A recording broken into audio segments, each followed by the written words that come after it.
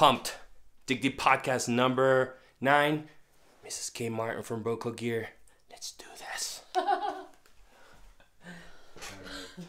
Five, four, three, two, one. Welcome to another edition of the Dig Deep Podcast. Today's recording at the world headquarters of one of my favorite brands ever, Boco Gear. Makers of all things technical headwear, performance gear. Super thrilled to be joined by Boco Gear's founder, Kay Martin. Kay, thank you very much for being on the show. Oh, thanks a bunch, Hugo. so fun. Yes, I'm pumped. I am super pumped. Um, we're gonna talk a lot. We're gonna talk about a lot of things today. All things entrepreneurship, um, how you started Boco Gear. Um, but I was telling you this before that when I was doing my research, okay, so I I, I googled the words Kay Martin, and uh, the first thing that I found was this lady, uh, singer, uh, very voluptuous lady. Um, oh, that's so me. and um, she actually was a singer who, who had an album called Kay Martin Sings Naughty and Nice Songs. So that that was not you, or were you a singer in your in your previous life? Um, sure. Yeah, for sure. My kids would tell you that. My family, from a big family, so they thought we were we thought we were the Brady Bunch growing up or the Partridge Family. So yeah, I would say I have a, a singing background. Do yeah, you sing? Sure. You, you like singing? Heck, uh, by myself in the car. Yeah. It's so funny. And when I run, I get busted with someone coming up behind me, and I'm totally singing at the top of my lungs. It's so funny because uh, I just thought of my wife Amy. She has this beautiful voice. She never sings, but like once in a while, when she's like cooking or taking a shower, she just starts singing. And I always tell her, you should do that more often. So anyway, she appreciates that. But all right, so wanted to um, ask you first. Um, you you lived in Colorado in Boulder, I think, uh, for most of your life. Is that right? Or Well, I grew up in Boston. yeah. and, oh, okay. I uh, thought we were you were from Michigan. yeah. No. What happened there? Oh no no nothing. We're good. We're good. So I grew up in Boston and went to school in Michigan, hence my University of Michigan. you Yeah. know, whatever, screensaver. Um, I was one of six. We all went there, and then I moved back to Boston. Started a company there uh, with a friend of mine that I graduated with, and we were we would get people in shape. But it was the early times of the '80s when a degree meant more than what you accomplished uh, Tell me about it. athletically. Let's Yeah. just leave it there. So anyway, um, I met my husband actually on RAGBRAI. We were riding across Iowa, and I met, uh huh. and he was working for Cannondale at the time. Okay. And Cannondale put people out on the uh, on the road in the early '90s, Okay. and he chose the Colorado Territory, and I followed him out here after we got married, and um, so that's what started our Colorado journey. And I'm from a big family, and we just said, "Oh, we'll only be out here two years," but you know Right. how that is when you come to Colorado and you come to Boulder and you meet people, and you play and you have fun. Um, Yeah. there's just no way I'm going to go back. So. I do call both places home. I call Yeah. Boston home. I need to go back to see the ocean and Yeah. uh, I love my family, so I head back there every year, uh, a few times a year.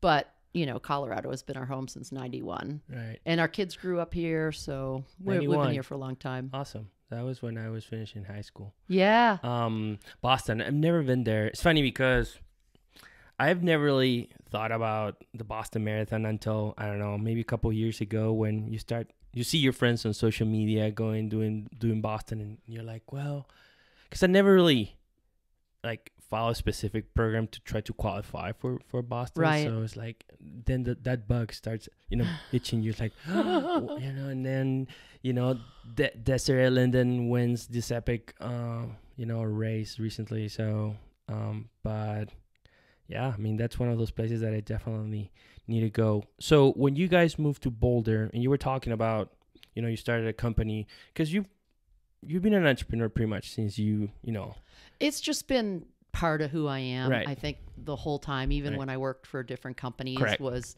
knew I would end up somewhere running my own company. It Yeah. was, and then later in my career it was it was always one of those thoughts like, you know what? I don't know what it's going to look like, and I don't know what it's going to be, but um, I would love to take a shot and run my own company again. It's it was Mm. more flexibility. It's hard work. Mm. It it uh, it- it's the good and the bad, but I Yeah. felt like I had um, come to a point in my career where, okay, you know what, I'm gonna be I'm a salesperson through and through. So Yeah. I knew that you're as a salesperson, you're only going to be at that company for as long as the person that hired you is there. Yeah. And in this kind of climate right now, you know, presidents come and go and you know that happens and then so does a salesperson. And I just felt like, oh God, I'm gonna be on another roller coaster. So Yeah. Um, and sorry, I'm a swear, but the last time I was fired for growing someone's business, um, I really was able to reflect and say, like, okay, I'm an old person now. Like, if I haven't got it by now, this is the time that I should think about starting my own company. Yeah. Um, and I had gotten a job with um, friends of mine. Love them dearly. Uh, it's the people at Balega. Huh? And the way I I uh, started working there, I had been telling my father, like, okay, Dad, like, here's the deal. Um, I am looking for. I'm going to find that company that's going to hire me in a sales capacity or whatever, Mhm. and and my working name for that is MNA, NMA. No more assholes. I, I had really perfected working for people that treated people like shit. and um and I I I had some really really unbelievable mentors through my career, Mm. but I also had some huge ogres that are in you know keep getting jobs in the industry and they're doing really well and I just felt like god there's got to be a place for someone that treats people well. Yep. And um, so for me, I targeted Balega because I was like, if you've ever met the people that started Balega, they're the nicest people in the whole wide Yeah. world. And Bert and Tanya, a benefit is they're from South Africa. So mm-hmm. if they fired me, it would sound like, hello, Kay, but you did an awesome job. and they I say love it. words like fantastic and things that Americans can't get away with. And I thought, oh, if I get fired from them, how cool. I'll come home like skipping and jumping because yeah. Yeah. you know, like, oh, I'll just feel good about myself. So anyway, I went to work for them. And when I was there, people kept reaching out to me because the job I had prior was Yeah. working at a headwear company. Mhm. And people were reaching out saying, come on, can you just make headwear? We don't want to work for this asshole. We don't want Well, to. so I mean, that's one question that I have, uh, and you know, I was gonna ask you later on, but it, I thought it was interesting that you started Boco Gear after because I, I, I thought okay you, you're leaving Bele- Balega a sock company Yep. and then I don't know normally people start to leave their own companies after you know working for another company in the same industry but I mean of course you, you you work in the previous company before but I thought it was interesting that between you know working for a headwear company and starting your your own headwear company you work uh, for for Balegas, not necessarily in that very same category, right? Right, right. So okay, Yeah, and um, makes sense that you're saying that people were reaching out to you. They yeah, so I think it was a stop along the way, right? So it was they're reaching out and they're saying like, "Hey, I really want to do it." And when I looked at the category at the time, so you know, 4 and 5 years ago, it was super stale and dated. There was maybe Yeah. one company that was doing anything, any business, but when you looked at that company, GU and Timex and everybody had the same white hat with a logo front and center in the middle. Right. And it was an old man dad hat. It was totally seen its Yep. time. It was I remember. Yep, mesh. It, it it saturated because remember I've got a background working for Pearl Izumi Moving Comfort. Mhm. I came from product and I was always taught at a high level of product snobbery, right? Like Yeah, yeah, yeah. yeah, no, I'm just but not going to make crap. So I knew uh, deep down that there was uh, a place for a higher end performance headwear company of some sort or uh, product for sure that was just moving this category forward.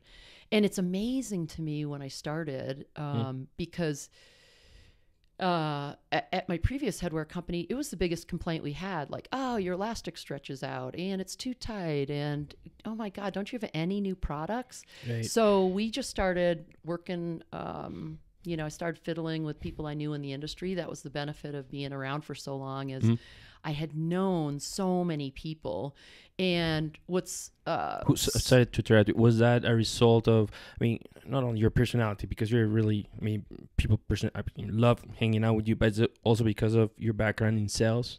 Probably. Okay. And and I would just call contacts and you know um I don't know if you're the same but now certainly since I've been in this position I Mhm. always do but if someone reaches out to me and wants help I'll be like yeah fine I'll go to coffee I'll help you Yeah. I'll do and it's just the way that uh that when I look at my career, if I can help someone, absolutely I will. Side note right there, because that's how I met you. Um, So for, for our listeners, that's how I met Kay. When I first moved to Boulder, I just sent her an, an email out of the blue, the same way I did with Franco Batterot. Um, my guest in podcast number, I can't remember, but I just wanted to network with you. I, I, you know, became aware of Boco gear, and I just wanted to meet you, and you were kind enough. You didn't know me at all. We met for coffee, and I think that we've been in touch since then. So sorry. Thank you. That was awesome. Yeah.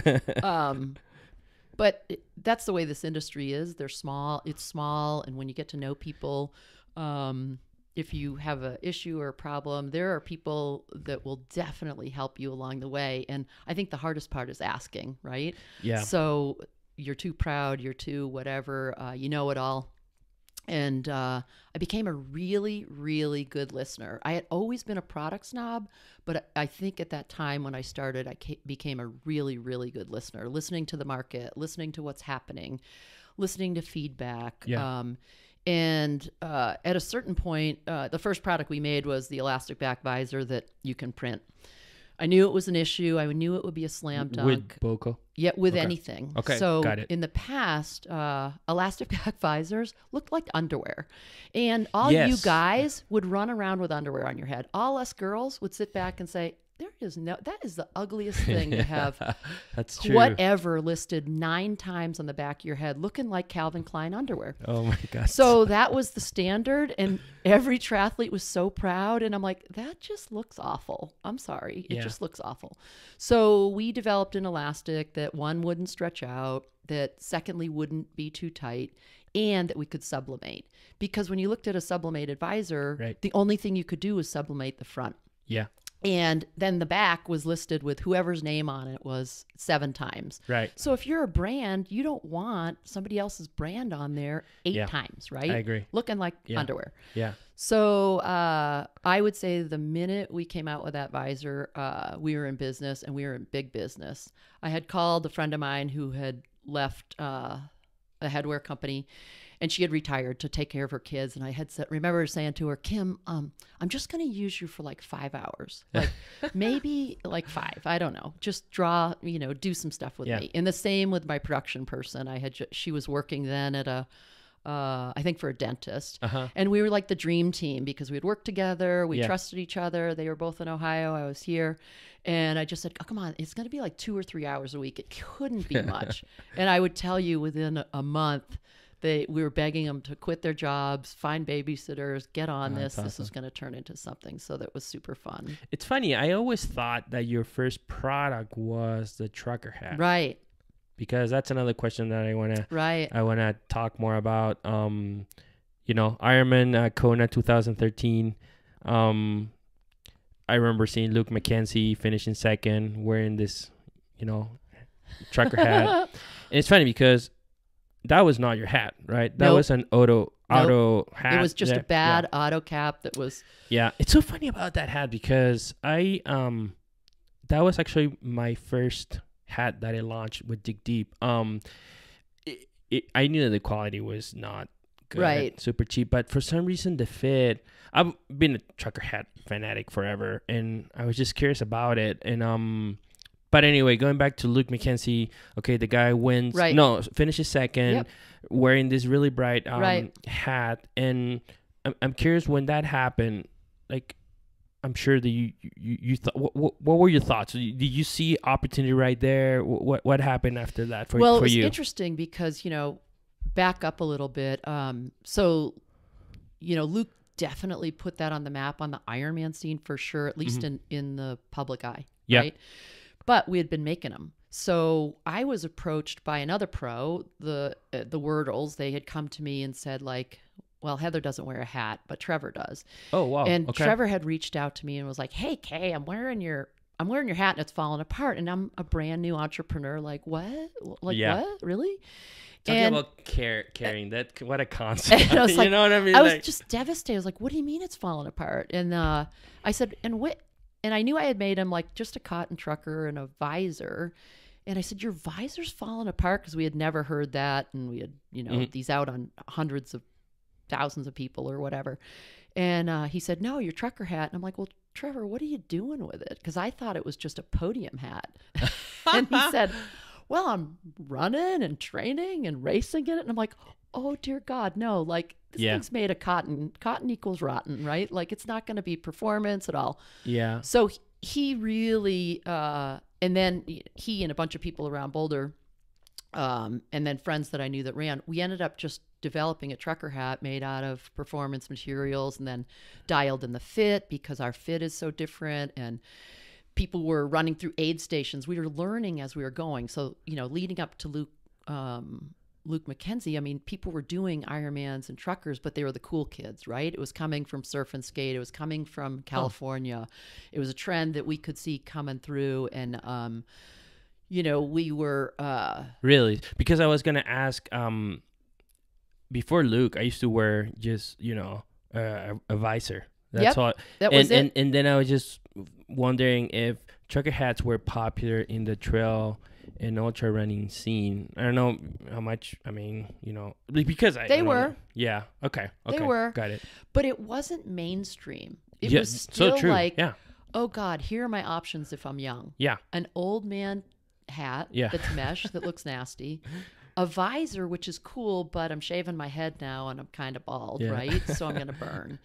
So they started wearing whatever, the Otto caps, their cotton hats, their whatever. And we were seeing them in, uh, in ultra. You'll see him with the cool cat kids on, in triathlon, but it just, the momentum that it gained overnight with uh, with us making him technical was nutty, and we were ahead of it. We we uh, we registered and trademarked technical trucker. We Yeah. put a whole bunch of um, you know ours are actually not made at some massive factory that produces them at whatever size and just slaps a, a headband on the inside like most of them for us we dialed in the fit so if you're uh, an athlete and you're running through an aid station right they were they were taking them off they were scooping water up Yeah. they were throwing ice in the top of them um, and then people would come back and say hey my um, my sunglasses are flying off when I'm running through the aid station. I really don't have that problem because I walk through the aid station, but whatever. I, Right, I'm a good listener. like all of us. You know, we get back to that, and so um, we we shortened up the depth in that so that you can wear your sunglasses. You can take your hat off and on, and you're not going to flip your sunglasses off. So. Um, And so it's funny that you t- we're talking about the Wurteles, uh, Trevor and Heather. Um, I, one question I had for you was like the very first, you know, days, months of Boco Gear. Who were your first customers? Okay, my first customers were like the Bolder Boulder because I had had relationships with them forever, Mhm. and I was super cautious um, because uh, we just had some stuff going on where people were after me personally and the company. Uh, let's just leave it at that, like Mhm. lawsuit and blah blah blah. So we were just trying to avoid any conflict. So I waited and had people reach out to us. And what typically happened was, um, you know, it's a small industry, and I'm in Boulder, and um, people would find out through friends of friends, like, oh, Kay's making some stuff. She could Yeah. do something for you. And I did that for a good year because I just didn't want to cause any waves, and it was just better to stay low. But what that created just by itself was this you know, totally organic, underworld, grassroots. You have to be super hip. And I'm laughing like, oh my gosh, it's totally working in our favor that we're not out making a huge website, beating the ground. You have to know someone to Yeah. know that I'm making I mean, hats and visors. when I was telling my customers that I was gonna make a next round of hats, this new hat, several of them were like, "Are you gonna make a Boco Gear hat? Are you gonna make a Boco Gear hat?" Because they they were not very happy with the Otto hmm hat fit. The fit, it was, I mean, of course the quality, right? But Yep. it was the fit too. Like, uh, there's people, it's funny. I, I thought it was, I read an interview that you did or a podcast where you talk about people with uh, small heads. How do you call them? Uh, people with cat heads? Yeah, your cat head Your or cat- pinhead. Pinhead, yeah. So, um, uh, gosh, I just forgot where. I was. Oh, so that's that was gonna be my next questions. Like, how did you know? How were the first like six months up to a year? So, okay, focus on on growth and like- Right. Okay. Right. So um, the the first six months, uh, you know, I was kind of when I really first started, I was still doing Balega, so it was part time. Mhm. So I was working with Balega, and they graciously allowed me to do some stuff on the side with Boco. And I would say at the end of that year, it, it was more the come to Jesus, like, wow, I am doing as much business with one as I'm doing with the other. That's it just kind of snowballed. Mm. Um, and at the time, we were working with some big events. Um, already just from people knowing who we are and what we could do and like i said to you when people started seeing the visor could be printed and everything else was Yes. not that really got our foot in the door but as these pros so many of the pros you know they're not sponsored with headwear Yep. and they all want to kind of wear something cool and the Yep. trucker hat was rambling down then they'd reach out and like this cat head thing i can tell you everybody that has a fat head and i can tell you everybody that has a cat head right? It's just we made to order and we got we got a lot of feedback from people that really beat these things up for a long time. Way more than a traditional athlete would do that. Um, but what i loved was every every hat we made um, we said early on we'll never duplicate a um, we'll never ever duplicate a style um, a design. Mhm. and that was a big win for us because you don't want to be Clif Bar and GU is running around with your hat Yeah. it Yeah. frustrated the whole industry prior and it's lazy Yeah. and so if you're a, a custom designer and you're doing you know uh, templates that's fine that's just not going to be Boco Gear Well, I, I'll tell you the two things that made the most impact on me when I was shopping around for to make my my my hats with my previous brand, Boulder Training Mecca. Yep. And uh, that when I learned about, y- well, uh, did I? No, I was actually even before I met you. Was a couple things. One is like, wow, can I really make my own design and, and print it on several parts, like on the you know the belt under it um can i have my you know uh, embroidered on the back and the other thing that was huge for me as any small you know uh entrepreneurs the, the the amounts i remember that my first order was like 25 hats right right when we I, started I, I didn't need to because i remember all the companies would ask you for 200 or- Right. i was like no i mean Well, here, here, this was good and bad, right? So, um, the good is that we were trying to be, uh, trying to be good, good like stewards of what's happening in custom. right And when if you look back, the options were you had to buy 200. So for you, who Hugo, you'd be so mad at me because three years later you'd still have 100 left to get Correct. through. It was no different for a team club. It was no different for a, um, for a retailer. And I had been in the industry so long, we were like, we've got to find someone that'll make smaller minimums, turn them faster, because the average turn time was 180 days by sea. That's crazy. You know, you could fly it in for an extra dollar for 60, um, and it frustrated everyone. right So when we came at it, it wasn't only we wanted the greatest product, we wanted to change the uh, paradigm.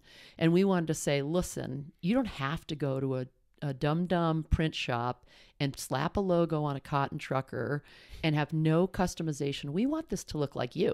right We want your company to look like you. We want the next company. And we were less interested in branding uh, Boco than we were you. Right. And it's not, I'm not bullshitting you. I, I honestly uh, believe that the way custom works is if it's you guys first and then us, right? Yeah. Like we'll put a logo on the side, we'll put a logo on the Yeah. inside or whatever, but we're not going to put seven on it. Yeah. We're not going to brand ridiculously. And if you know what, there'll be times when our designers will say, you know what, let's just drop it from the outside or put it in the back in a small tab because it'll make the hat look better. Right. So there there's enough flexibility with us that I feel like we're trying to do the right thing for the brand. The brand that we work with, the event that we work with, the retailer.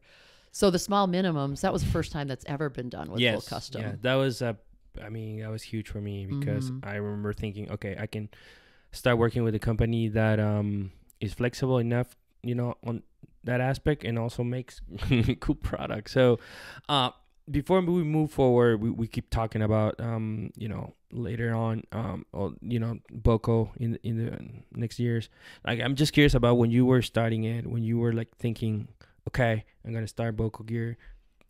Curious, what were your expectations and fears like Oh my god! your mind So my what's on your mind Well, when you first start, right? It's uh, you're standing over a clip cliff and you're le- leaping off. And I guess the saving grace is I, uh, I was, I knew that I could get a job, another job, right? I knew that I could get a sales job. Yep. Um, it, I don't know, it, it might have required a move or whatever, but it, the worst comes to worst, I always sat back like the worst comes to worst is this doesn't work out and you get another job, right? But it, but it kept, what kept pounding at me like was if I don't do it now, I'll never do it, and I'll kick myself. Oh yeah. But I would tell you that if I I wasn't ready 10 years ago to do it, I wasn't hungry enough, I wasn't I usually say vindictive and Irish enough to start something, but um I uh I I was so much more I was just in a better position to say like let's take the risk now. Yeah. Right? It wasn't a great time for my family at all. Yeah, I mean, I was. I petrified. mean, it's Uh, we you know you're um we were scraping by or Yeah. whatever and i have two kids entering college i mean it wasn't the brightest move i made but um and i would say that first year was the hardest struggle Yeah. but it's interesting um i i, I would credit uh, a lot of people for really getting behind it. I mean, we had early customers that would call and say like, "Yeah, Kay, it's like I love them. They're great. They just weren't perfect, right?" And I'm Yeah. so picky. I'm like, "Oh my god, they're not perfect," but they just wanted to, to support you. Like Tri-Bike Transport was awesome, Yeah, right, Mark? And you know, he could have said like, "Kay, if you know him, he would say like, "Kay, I know the logo's upside down on half of them, but so what? People can wear them upside down." Yeah. Like he would say that, right? Yeah. That's just the type of guy he Yeah. is. So there were people like that that come thick or thin, they were going to support me and and help me get better. That's because of the relationships. Oh yeah, build with yeah, them. and and Right. and you know, uh, Kristen from Betty. I mean, there were just people that reached out and were like, "Oh my gosh, I've seen what you're doing, and That's I love it, Yeah. and uh, I want to help you get better." So we had good feedback, and we didn't have to fall very hard, is what I said. Yeah. You know, I, you know, um, my guilt kept us going, but I would say that there were a lot of people that that reached out that supported us. it's funny um you're talking about you know how you decided to start for me it was like all of a sudden i had like an awakening because i always thought that i was going to pursue you know a career in corporate. When i met you i was i i was i think working for for you know a, a cpg company you know yeah. and um but one day i just had this kind of you know awakening with that i just i realized you know i'm gonna be 80 years old and i'm gonna regret not at least giving it my best. And um so yeah that was kind of big. I think another reason that kind of got me you know motivated to start was um, you were talking about mentors. It's interesting because when i was working for big companies i always wished that i I, never really found people who could really help me to build a solid career in corporate. And and um but now I I have my own what I call virtual mentors. Is people that I follow on social media just entrepreneurs people who Mhm. um you know successful people. And one of them is this guy Gary Vaynerchuk. Anyway this entrepreneur and uh, he always talks about working hard uh, no bullshit okay no Right. you're gonna you know i don't know he's like you just have to work hard and be patient all the right things and Yeah. um he really not only me i have a lot of friends from business school who um it's funny because uh, 99% of them are still working for companies and and and that's great but a few of us are like having this awakening like Mhm. oh my god you know I, I can you know maybe do something different. Because i always knew that i was not going to be the ceo of nestle or because that that was kind of the original goal when i left peru. It was like i'm going to go get my mba and i'm going to be the ceo of one of these companies. And you know working as a brand manager with other 100 brand managers with you i don't know. For some reason i thought this was not going to happen. And the other thing was i just i felt that this passion that I have for things in general was not necessarily translated into the things that I was doing. So I was like, okay, I'm average here,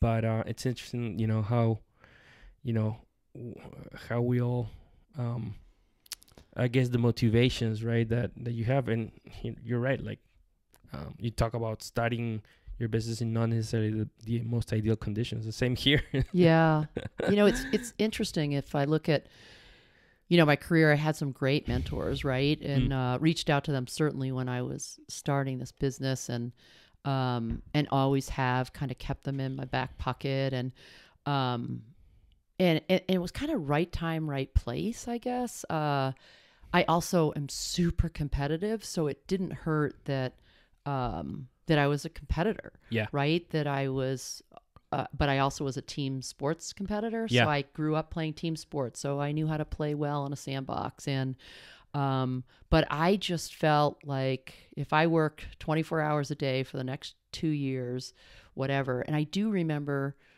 when it finally clicked. Uh, I don't know. Could have been when Ironman handed me a big fat PO, but I just remember sitting back and saying like, "Oh gosh, we're gonna be. I'm gonna be just fine. This team is gonna be just fine." That's awesome. and um, I, I just felt like we had the winning formula. We had Yeah. great people, and what we were doing, I felt was different, and uh, it was different enough. Yeah. And I'm not going to be comfortable. And even now, the one of the guys that is certainly has been a mentor like for a bunch of my career and he's my one board member Mhm. and uh, he said the other day now like you know you're doing great and still growing whatever but don't get comfortable right Yeah. and there are those there are those comments that come from people they can be just someone that walks by someone that looks at your business and they'll stick with you for a long time and one of those was a guy a few years ago and he said uh, be flexible because I would ask people like, okay, you know, how did you make it? Same as you, you know. yeah. And he said, you've got to be flexible because if you're not, I would be thinking, oh, my company's going to be this hat company and I'm going to make exactly what everybody else had. Right. But I listened and I, I, I would say I am no doubt I know more about headwear than every competitor that we have. I, I know more about their headwear. I know Yeah. more about what sells through for us. I um, I study it.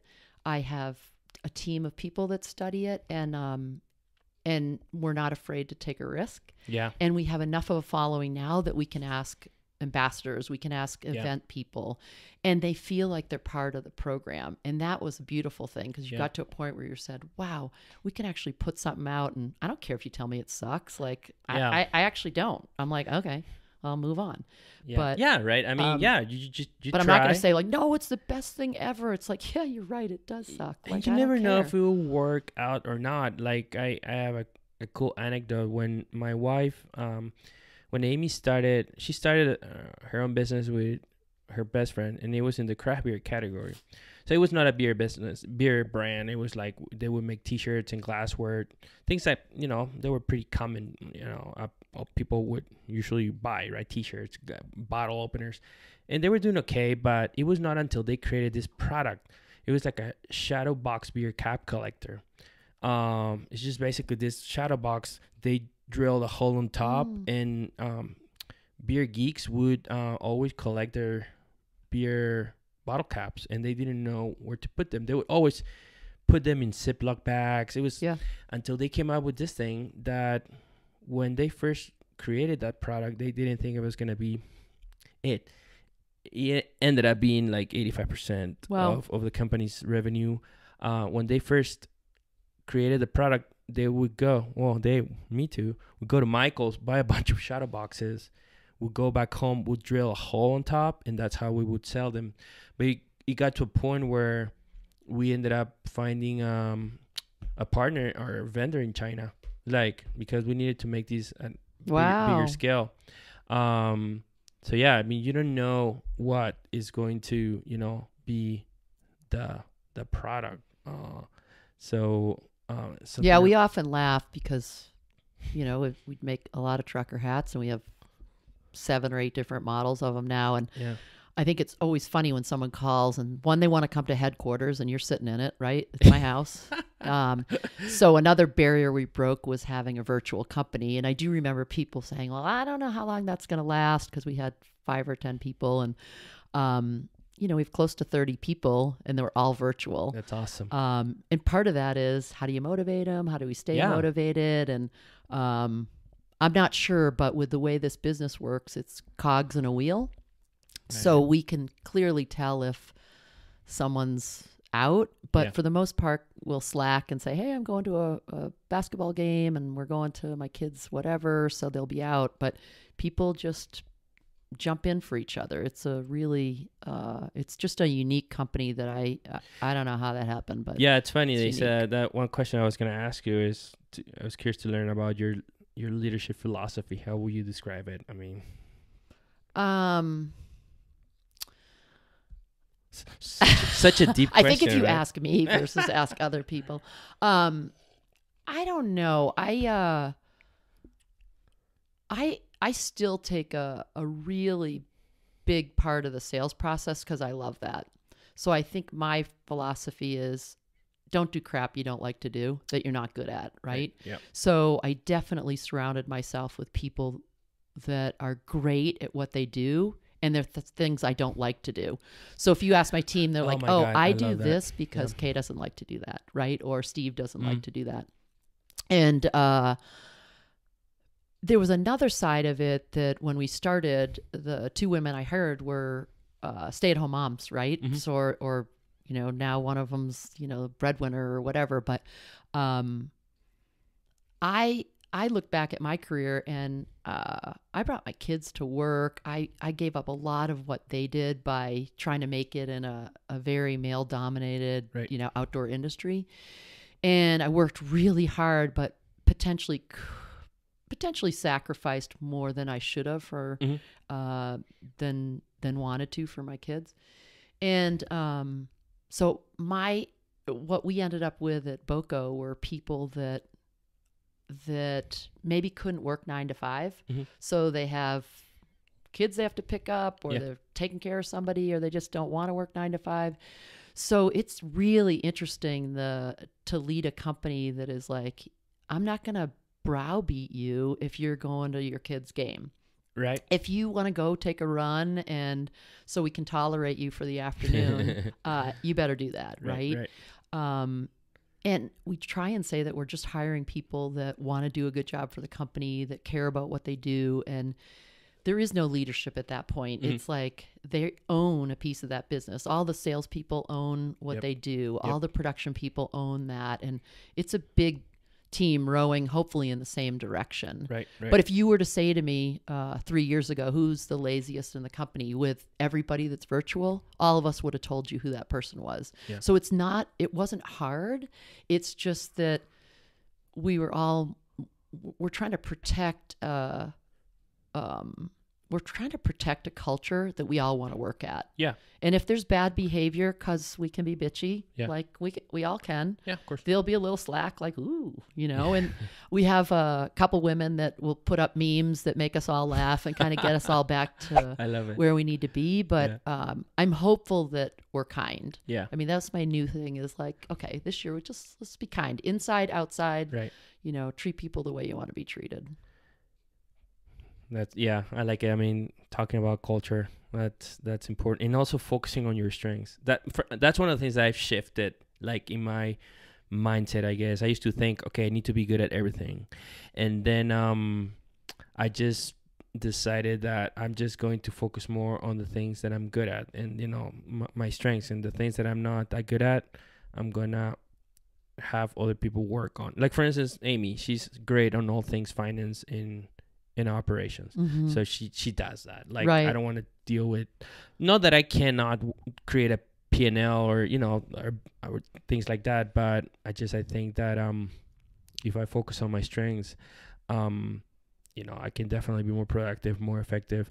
And this is again one learning from this guy, uh, Gary Vaynerchuk, which is interesting because now in this era of social media and access to technology, gosh, you can just go to YouTube and I don't know, learn so many things about like for instance I've been following Tim Ferriss. He has a Yeah. podcast too and and I always watch his his videos and um and I also follow all the people do, that are not necessarily like like Tim Ferriss who's all about mindset and things like that, but like how to how to grow up your newsletter, how to grow your newsletter, how to create a a great um, video vlog, or how to start a podcast. right I had no idea. Like when I decided to start, I there's so much information out there, but um, but something that I was curious about is um, okay, now you you know you started Boco five years ago. Um, I'm, I'm curious about like how the, the process of growing sales for a company because I I imagine that you know you first started or you still do of course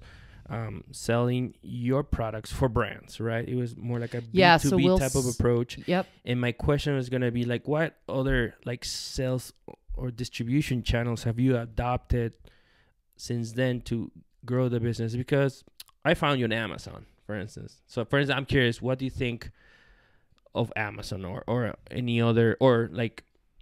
I'm sure you've done a lot of expos, you know, or like I'm curious about what what other distribution channels are you have helped you to take Boco to the next level. Well, it's interesting because Boco's not a wholesale, a traditional wholesale brand, right? So we don't build a lot of products and keep it in a big warehouse and then sell it to stores and Hmm. beg and hope that they come. And part of that was uh, absolutely part of the philosophy at the beginning. So Okay. I had been involved in wholesale business my whole career. So Pearl Izumi, Moving Comfort, whatever. Yep. They all were uh, brands that brought product into a warehouse, took preseason orders, and sold them. And the climate's changed, right? So for me, when we looked at it, we said, let's come at this like a source, right? We're going to be the factory and we're going to be a source to all these people that can't source it on their own Right. right so you can go um, you can call us and we'll make you you know 35 hats or bags Mhm. that but for us we have no inventory so you after this podcast can walk in my basement and see the well there's there might be 20 boxes down there Yeah. of Yeah. stuff but um, that's only because we were forced after we got more popular to bring in product. Yeah. And our goal was very similar than what we train our our the people that buy from us. Buy what you need, not what you think you may need, because just like you, Hugo, you'll buy 35 hats, but the next time you're like, oh, that was really great, but I want to make a green one for whatever. So what we were trying to teach people out there, whether you're a retailer or an event or club, is change it up, make it different, Yeah. give people a reason to buy. Right. Um, so everybody else is the person that's selling, or they can sell on Amazon. They can do whatever they want. And uh, for us, we we didn't feel the pressure to empty a warehouse. Yeah. We didn't feel the pressure to bring product in and have an if come is what I call it. So you know, a lot of big mistakes uh, for young companies are inventory, and even old companies, right? Yeah. It's it's what was the demise for half the companies that, Yeah, that I worked with is you're stuck on old inventory and you got to work to get rid of that. Yeah. Well, when you don't have inventory, you're lean and mean and can turn and you're flexible and Right. uh, oh, so what? I can't make the, that guy 10 hats, but you know what? Um, on occasion, we'll bring in, you know, blank hats. It's just not who we are. Yeah. So we're not a promo company that brings in blanks because I also think that a heat transfer or a spot sublimation just looks terrible. Yeah. It looks, it's dated, it's old, Yeah. it's junky. Um, it doesn't tell a brand story. So Yep. for you, you can get uh, an off the shelf black hat and you can put your logo on it, but that's what everybody else has. Right. That's true. Right. So Yeah. it's like, I want people to go by you and say, Oh my God, I love that Dig Deep hat. And Yeah. I love that. That's true. You know, and uh, they're not going to talk about you if you buy a white off the shelf hat and throw your logo on it. Yeah. Right. Yeah. You post it on social media, you're going to get like three likes. It's your mother, it's your father, and it- it's And the person that works for you. You know, like you, be creative. The and times are changing, right? The last thing on earth I want is inventory. Yeah, it's interesting that you say that because um like in the, so my business has been around for a year and 4 months. So and I've never really bought tons of inventory, but um and and part of it's because Amy is always telling me just focus on what, you know, just Yeah. very basic test, try and learn from that. And one of the things that I've been doing lately is um like asking my my my my clients and my hardcore followers like for feedback because one of the things that I've been trying to focus on as an entrepreneur, business owner, whatever, is to try to grow that community. I I read an article. Uh, I don't know if you read it. It's called "How to Get a Thousand Fans." Um, one time, and it's this idea of focusing on, um, rather than thinking, for instance, you're on social media and you want to get I don't know ten thousand followers, and you do all kinds of Facebook ads, and rather than focusing on trying to get thousands of people to follow your website, or focus on the people who are already like focus on getting a thousand true fans. And the idea behind that is that if you find those people and then you cultivate, you know, a relationship with them, they're gonna buy anything from you. you know, Sure. doesn't matter what, what what is it that you launch. So, so that's one of the things that I've used to help me focus on building this community, engaging more with followers, and um, that's been really helpful. And actually, I've been using them uh, to get feedback on what to launch next. I'll give you an, an example. So when I launched Dig Deep, okay, I had this logo. I personally liked it a lot, and um, then I I started working with Tony the Boom. You know, Yeah. he, he he leads my my designs. I, I love his style, and I asked Tony, okay, you know, innovation. Okay, we need to come up with new designs, and he created a bunch of things, and then I went to my my you know my followers my customers and i asked them what do you want and 100% of them were like we want more stuff with your logo and and that was kind of a big eye opening for me because that was when i real I, I realized back then that i had not done a lot with my logo Yeah. Like, I just-. I launched, you know, my my hats with patches, but I didn't do T-shirts with the logo. I didn't do, I don't know, water bottles, whatever. And so that was a big eye opener because like people were like, we want to see more stuff with the Dig Deep logo, and so that's kind of where we're going next. Like um, Tony's creating like a vintage version of the logo. So it looks pretty rad, and um, and I want to do more hats in you know kind of third quarter. So we, we need to talk. but um i i this idea of of having your your followers your fans especially the people who buy everything from you um to help you or to guide you to know what you should be launching because again you know being super small you just don't have the money right and that that's when i for instance i see all these other brands that i see in the in the triathlon category that uh, you go to their website and they like offer so many items that in my mind I'm like, you're definitely not printing all this. You're making on you know, One. one exactly right.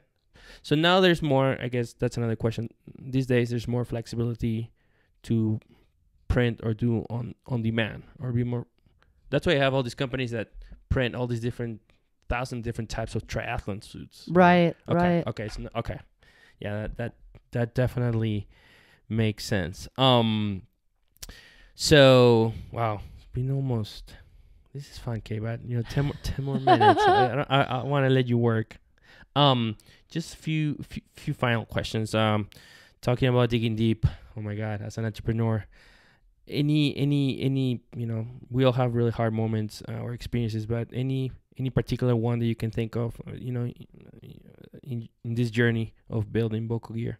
Oh, I you know what? There's it's a roller coaster I think always, right? Whether it's you or the business and um it's trying, you know, w- for us we've got um we have growth pain points, we had cry sessions, you know, we Yep. we we aren't always good at adding people when we need to, so we don't want to break them and uh the people that are with us, but um yeah, for sure. We- We've had um I, I think you just got to expect them and kind of do the, as much planning as you can Mm. to get through them. But um, you do, you do. Like we've got Chinese New Year shuts us down for six weeks, kills us for eight weeks, and it's our busiest season. Like really, huh? Yeah. So um, we've learned to get around a little bit of that, trying to get ahead of it. But at the end of the day, it, it's it's awful. We're just Yeah. getting through it now. We're so busy, yeah. and um, that's just always a challenge.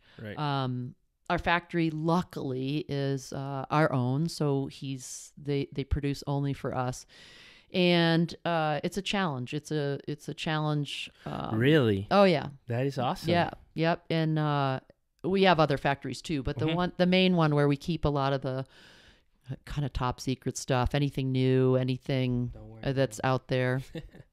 um, we keep it at this factory, and I call him my brother from another mother. But Yeah. we fight like cats and dogs, like when Yeah. we have to. And you know, he's just very stubborn. So am I. And you know, at the end of the day, I don't love that, but um, it's kind of a cultural thing, I think. Um, just going back and forth. Um, but at the end of the day, we're we we both depend on each other's success. Um, we both uh, really are um, successful because of each other. It's interesting that you mentioned like I, I was just thinking about when I was just telling you that um with this beer business and then we ended up placing an order in China. We found a vendor in China but through a broker, right? So yep, sure. and that was really helpful. But even with the help of a broker who helped us find a really reliable company, it was so challenging. Like Mhm. uh, I, I, I think that language maybe was a barrier. I mean, we were really diligent at like putting together documents and information of dimensions, colors, um, materials, things like that. And I remember the first run, uh, we had a lot of scrap, like a big percentage of scrap, and then. You, know, you, you learn from that, you know, until we, we hit a point where okay, we felt good about, you know, the final product. But um, yeah, that's that's definitely Well, I mean, yeah, you can get on websites and you can find factories in China, and the there's millions out there. But I think uh, if you're willing to take that risk with your product, go for it. Yeah. You know, we'll we'll hear it all the time. Um, and what we typically find, even from really big brands that have great sourcing, they go to China, they get a broker, they get a really good sample.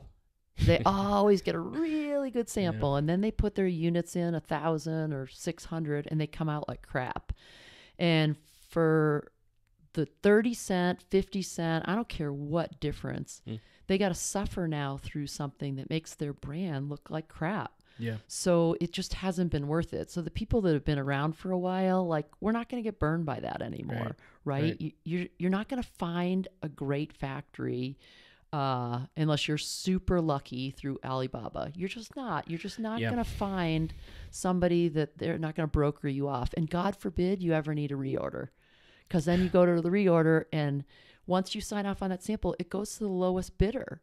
So Yeah. they're out farming that out for the lowest bidder yeah um, that's not where I want my product. yeah So coming from us, it's going to be the same factory. Right. It's going to be you know the same fit. Yeah. Um, yeah it's And- important. and I, I just wouldn't I wouldn't want to take that risk with my brand.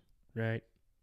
So i know this question can be a little hard to answer but just curious do you have any any idea of how do you envision Boco Gear in the next five ten years? Like i- i I don't know, like any new categories that get that get you excited, or? Yeah, I mean we we uh,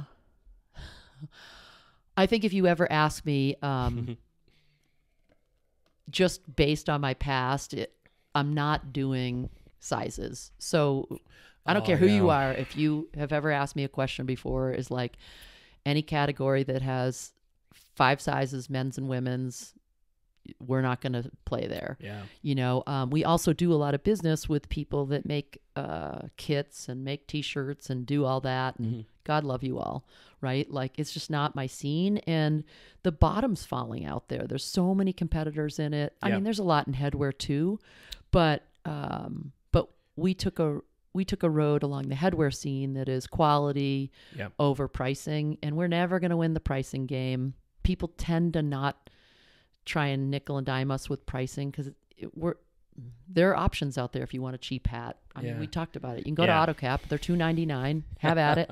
I don't want my brand on it, yeah, but um, but not being complacent is a really good lesson. yeah, That's all I'll say is like there are some really fun categories that don't have sizes. Well, you know, I don't consider one or two Yeah. a, a problem, but um, there are some really fun categories that people have been helping us with to expand into, and um, I think you'll continue to see that. Yeah. I think we'll we'll continue to um, offer products that are premium that that teams can use, clubs can use, that the retailers can sell, and um, and that don't involve twelve sizes and a lot of yeah, leftovers. yeah. I know. I, that's why I spent a lot of time doing the t-shirt thing, uh, or asking people about t-shirts and but i hear you like I, I don't think that's necessarily like a sustainable category for me as well like inventory you know sizes oh, well, uh, in our company, you put five of us women in a room. You can't. Is it going to be American Apparel? I mean, you, you Yeah. can't even get to what T-shirt you want because we've got an age gap from 20s to 50s, Yeah. and Yeah, then you've got body types. I'm like. I don't want to be in that business, and I was in that business for a long time. It's like, uh, uh nope, my arms are long. Nope, nope, Uh, nope. Okay, before we end this conversation, I want to ask you a question that I heard this the other day, and I asked actually to my previous um, guest um, in the podcast. This is a very silly question, but it's kind of funny. Like, what thing are you super obsessed about right now? And I'm not talking about business related. It can be as simple as a song, a food, or something. Anything that you're obsessed about right now. That I'm obsessed about right now. Um, I'm stealing this question from Gary Vaynerchuk. So, Gary V, if you ever listen to this podcast, I'm always obsessed about chocolate, but I um I'm obsessed about um